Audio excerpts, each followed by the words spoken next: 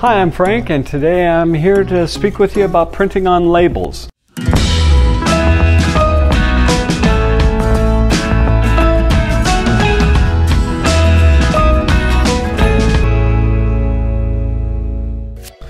So, irrespective of what kind of labels you use, whether they're Avery or whatever brand, they'll have a product number with them. In this case, I have an Avery 5026.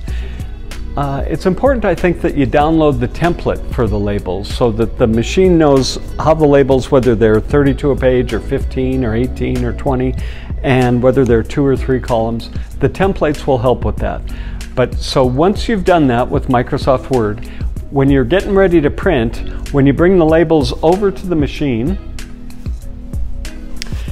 and as we said earlier, as soon as you load something on to the machine, and we load these face down. Remember, from the bypass tray, a sharp copier prints on the underside.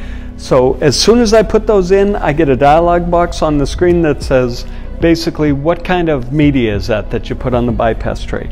And in this case, I'm going to select labels and say OK. And that's really all I have to do. Then when I go to print the labels, I can just tell the machine to look for labels within the Sharp copier by paper type, and it'll find them and print correctly on them. Thank you for watching.